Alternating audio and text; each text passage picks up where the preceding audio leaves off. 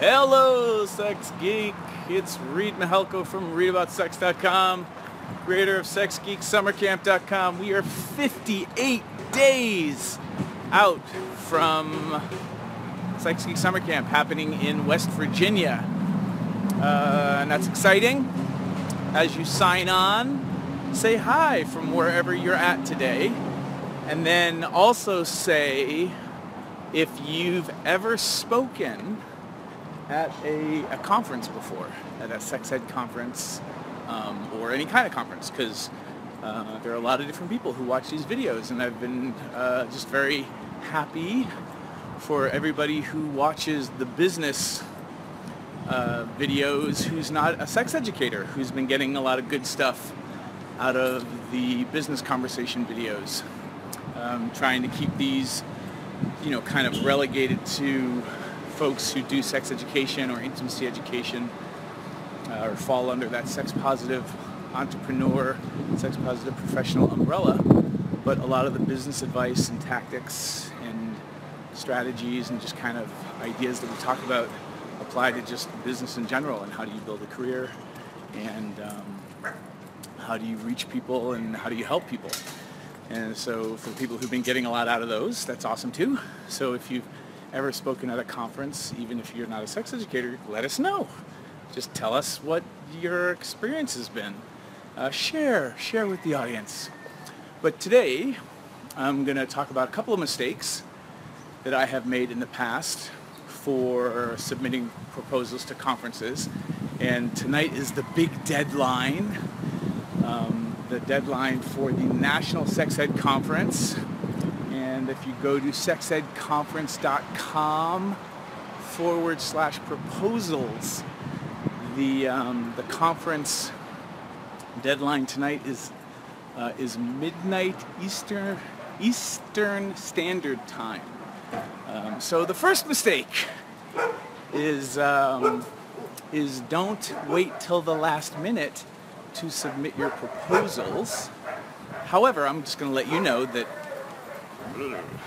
60% of the submissions I've ever done were probably done on the last day. Uh, so I don't even heed my own advice. But what I will tell you is make sure you know when their deadline actually is.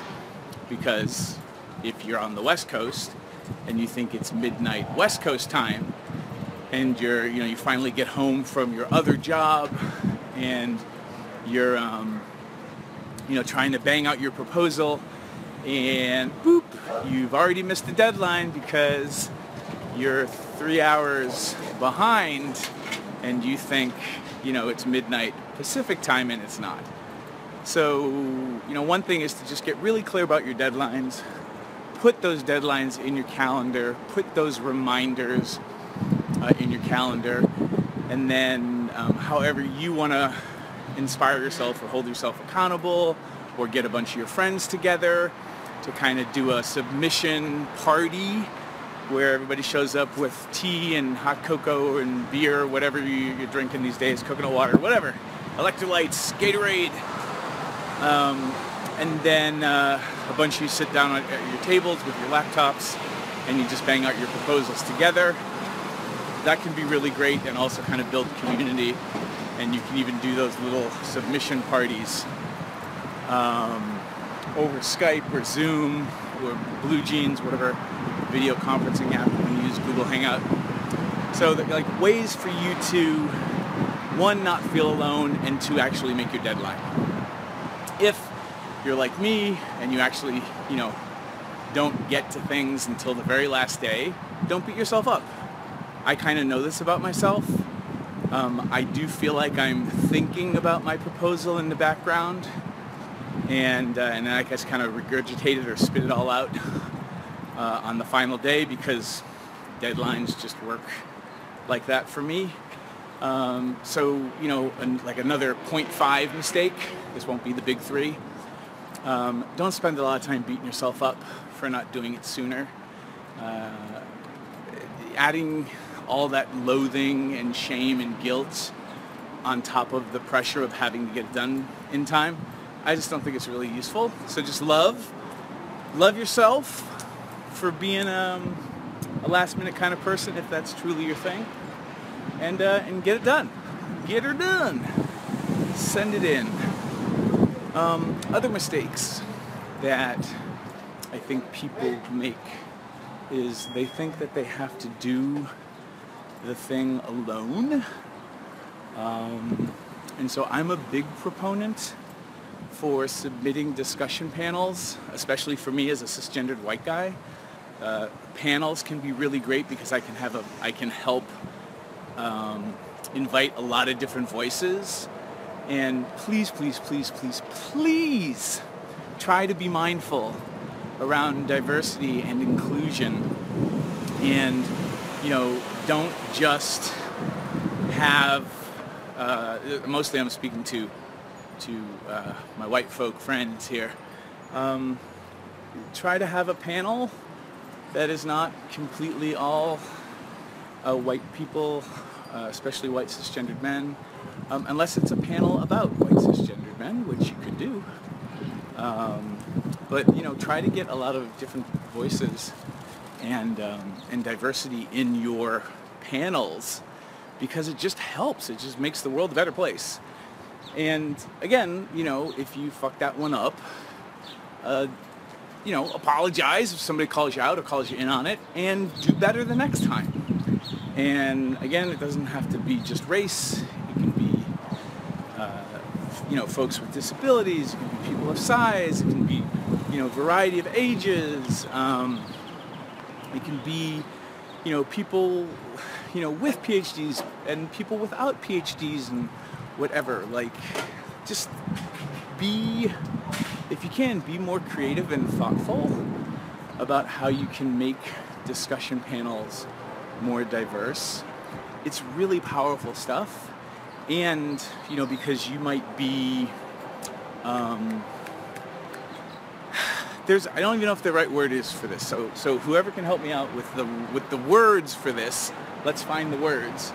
But it's almost like with shy people and extroverted people, um, and is it mid midtroverts or ambiverts? Um, but like I think there's kind of a person who just really likes typing and submitting proposals, and it's like they're the extrovert of the submitting proposal world.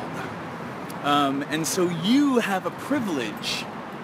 Uh, you have the power to submit things and you know put proposals out there and you get to invite the, the introverted proposal people the people who who for whatever reason um, you know don't submit a talk but you get to invite them to be on your panel to be on your talk so you know there whatever that word is if there's a word for that um, you know you get to also be diverse and help get people's voices into the conversations and the um, you know lived experiences of others who might not normally get to be on a discussion panel.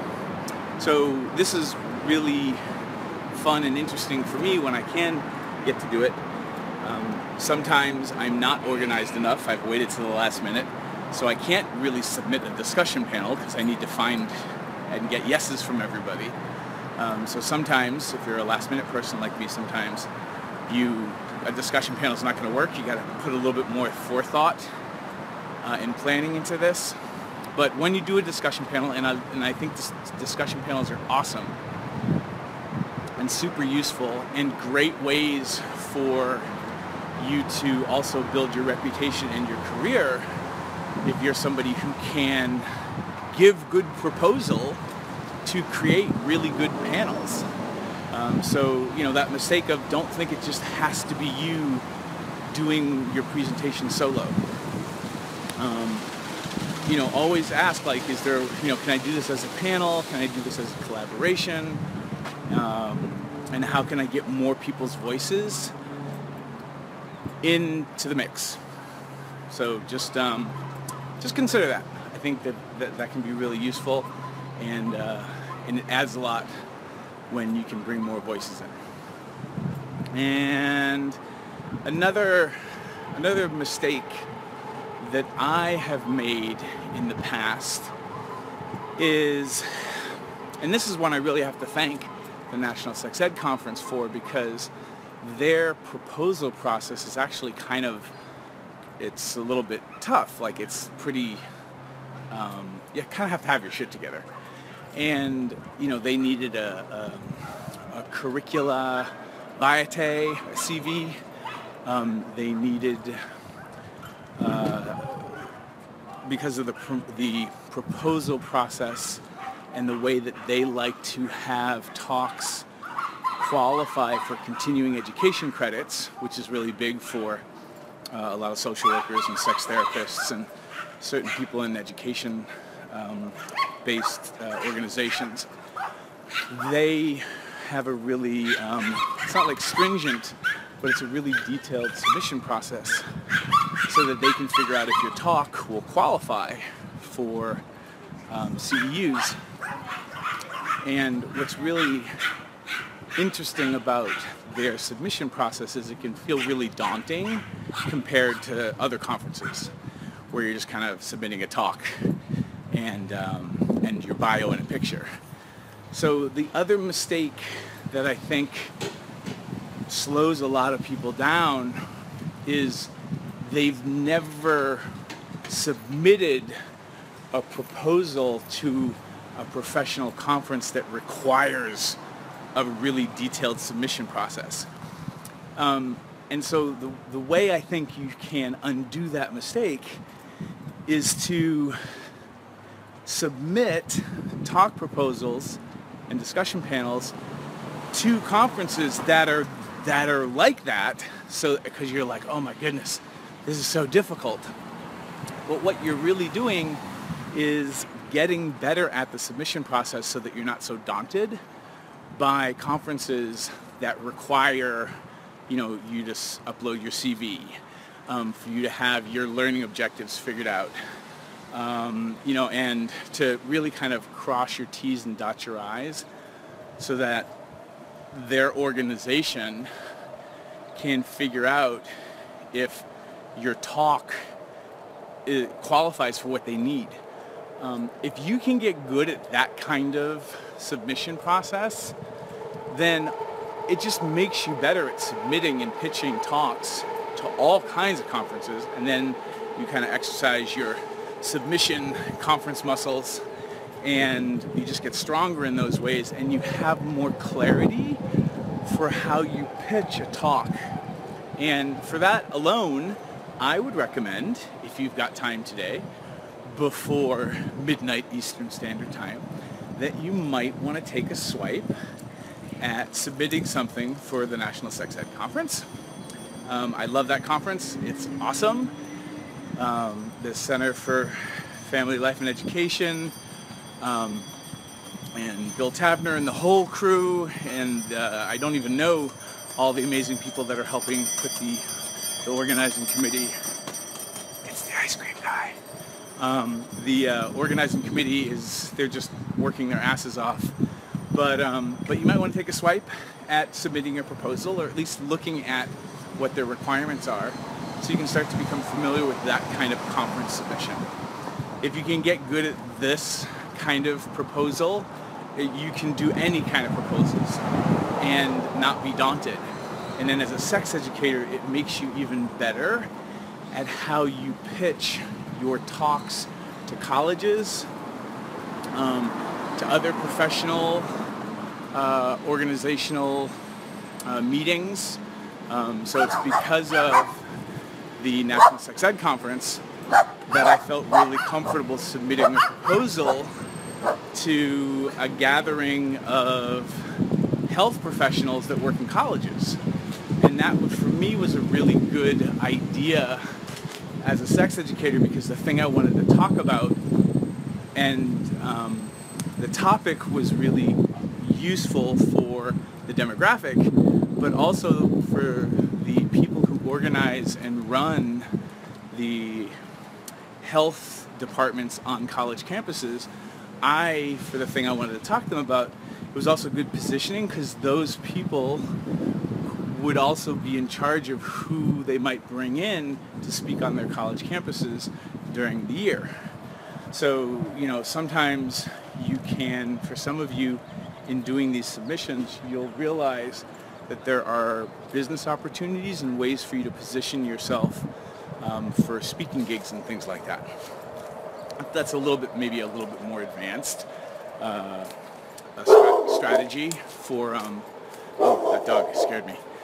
Uh, it's a little bit more of a, of a outside of the box looking at things from a strategic perspective, but you know, you get, you can look uh, for conferences and annual meetings, organizational meetings, where people are, uh, where you can get in front of the people who want to hear and learn interesting stuff, stuff that fulfills their need to get continuing education credits or units. Um, and you can put yourself and your expertise in front of people who might be making the hiring decisions for you know bringing speakers and educators onto their campus or into their organizations. Um, so I think a mistake is shying away from really complex submission proposal guidelines and stuff like that because you've never done them before. At some point, get good at doing them or find somebody who's really good and undaunted about doing the submission process and bribe them with food, uh, beverages, um, buy them, uh, you know, uh, massages or something, whatever, expensive sex toys, and ask them to help you. Because again, you don't have to do any of this alone. I think I'll stop there. I'm enjoying this walk. I needed to get outside. So thank you again, everyone, for giving me an excuse to get the hell away from my computer for a little bit even though I just leave my computer and sit in front of my phone. But at least we get to go outside and walk around the neighborhood. I'll uh, check the comments when I get inside. I'll, again, National Sex Ed Conference, uh, their link for proposals is sexedconference.com forward slash proposal. The deadline is tonight. And um, if you don't want to submit something or you're not ready, you're not a bad person. Don't beat yourself up. It's okay. There are lots of submission deadlines I don't make. I, I don't get around to it.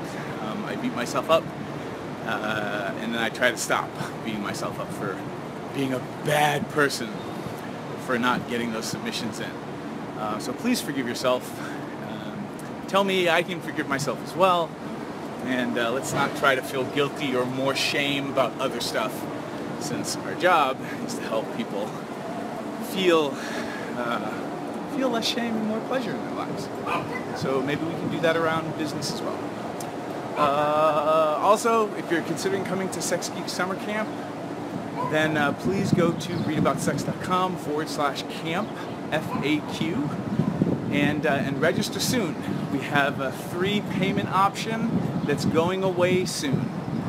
And um, so for those of you who need that kind of, break payments down on a monthly basis, uh, please jump on that now because once I shut that, that off, uh, it's a pain in the ass to turn it back on. And, um, and we're going to be busy putting together the biggest camp we've ever had. It looks like we're going to have tons of people. Very excited about this. And uh, we've got sponsors coming on that I'll start soon. And um, I'm excited about that. And what else? That's it. So check out camp. 58 days out. Uh, people are getting their bunk beds in their cabins, and those might run out this year.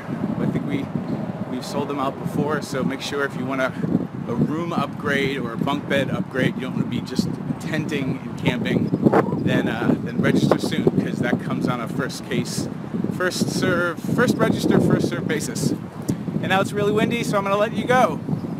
Thanks for being a part of all this today. I hope the conference talk that we just had was useful. Let me know what was good about it for you and uh, any tips you have for submitting conference proposals. Leave them in the comments for everybody else and share this video with somebody, guys. Bye!